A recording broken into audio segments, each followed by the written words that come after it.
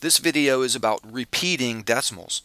It turns out that some fractions, when converted to a decimal, never end. The decimal numbers, the decimal digits go on forever. They never terminate. It's what we call a non-terminating decimal. They go on forever. Watch, watch this example. We're told to convert one third to a decimal and then round to the nearest thousandth. So to convert one third to a decimal, we just remember that this fraction bar means division. So one third means one divided by three. So let's do that. Let's do 1 divided by 3, and let's put some zeros out here so that we can do the division. 3 goes into 1 0 times. We need a decimal there. 3 will go into 10 3 times. And then we multiply. 3 times 3, and we put the result down here. So 3 times 3 is 9, and we subtract, and we get 1. And then we bring down this 0, and we get 10. And then we ask ourselves, how many times does 3 go into 10? Well, it goes in 3 times. So we put a 3 up here, and then we multiply. 3 times 3 is 9. We put the result down here, and we subtract. 10 minus 9 is 1. And then we bring down this 0. Now, how many times does 3 go into 10? Well, 3 times. And then we multiply. 3 times 3 is 9 and we subtract. And if we wanted to, we could bring down another 0. But you can see we're doing the same thing over and over. 3 goes into 10 three times. We could multiply 3 times 3. We'd get another 9. And I'm out of room on the screen here. But these 3's would go on forever. This pattern would continue and would just put three dots there indicating that it would continue. Now we're told to round this to the nearest thousandth, so we don't need to keep going. The thousandth place is right here, so we look one digit beyond that, and that number is less than 5. That digit is less than 5, so we don't round up. So our answer, rounded to the nearest thousandth, is 0.333.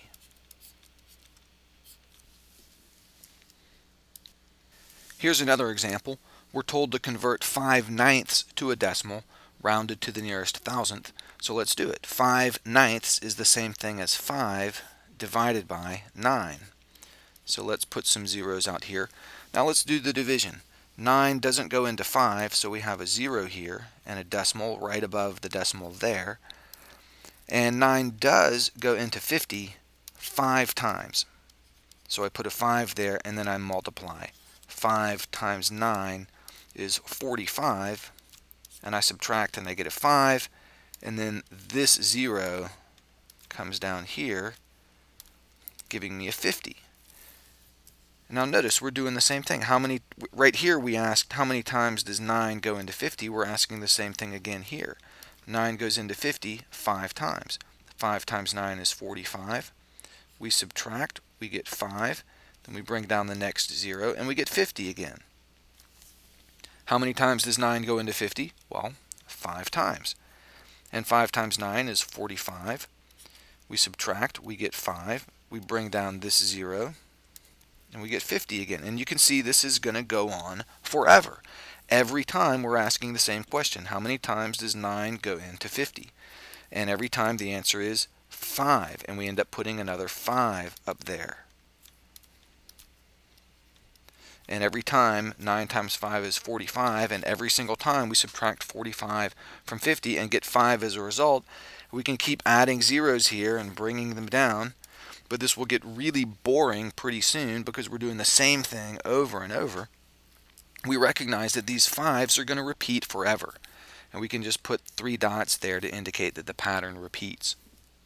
We're told to round to the nearest thousandth what that means is the third decimal place. So to round to the third decimal place, we look at the next one after that, and it, it, it is 5 or more, so we round up. So the answer in this case, this digit needs to be rounded up to a 6. So the answer is 0.556.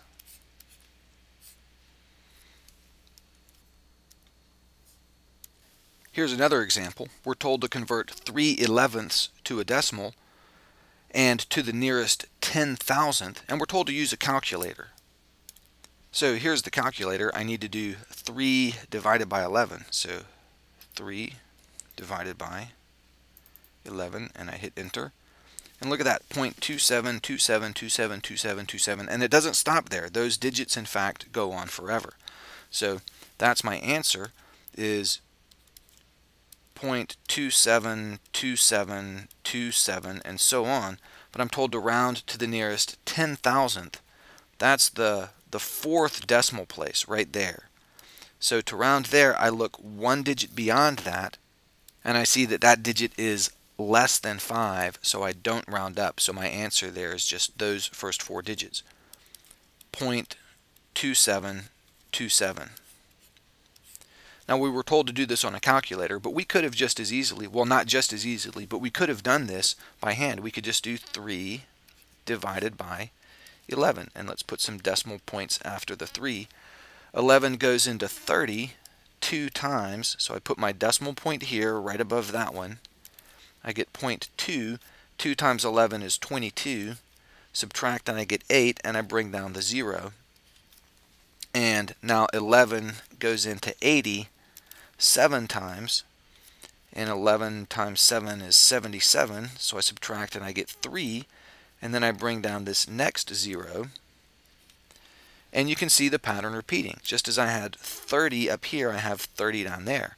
11 goes into 30 two times, so 11 times 2 is 22. I subtract, I get 8, bring down the 0, and I get 80. Just as I had an 80 right there, I now have an 80 right here. And 11 goes into 87 times. Oops, let me get that matching color there. 7 times 11 is 77. And I subtract, I get 3, bring down another 0, I'd have a 30 again. And this process just goes on and on. I would end up with 0.272727 and so on forever. Rounded to the nearest 10,000th, it's that, 0.2727. Now I also want to make a couple of comments about the notation. You should understand the notation for repeating decimals. And the word notation just means how we write it, how it's written, how it's notated or written down.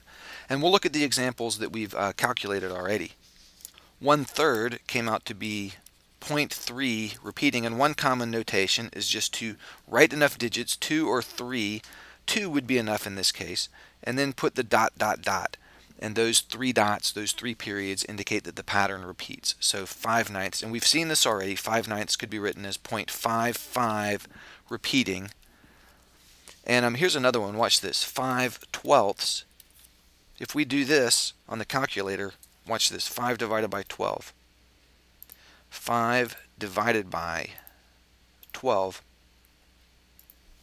Look at that, 0.41666666 and so on. The 4 and the 1 are there, but the, then it's the 6 and only the 6 that's repeating. And you can see the calculator rounds the last digit. Those 6's really go on forever. So we would write it like this, 512, 5 twelfths is equal to 0.4166 repeating. And again, if you wanted to, you could put in an, an additional 6. You could put in as many as you want. But generally, 2 is considered enough to establish the pattern and then the three dots right there mean that that pattern continues. There's another notation called a bar notation, which is also really good. One third could be written like this, 0.3 with a bar over it, and you put a bar over the digit that repeats. That means the same thing as 0.33333 and so on. 5 ninths could be written as 0.5 with a bar over it, or 0.5 repeating is how we would say it. And 5 twelfths could be written as 0.416 and you put a bar over the 6 indicating that the 6 repeats.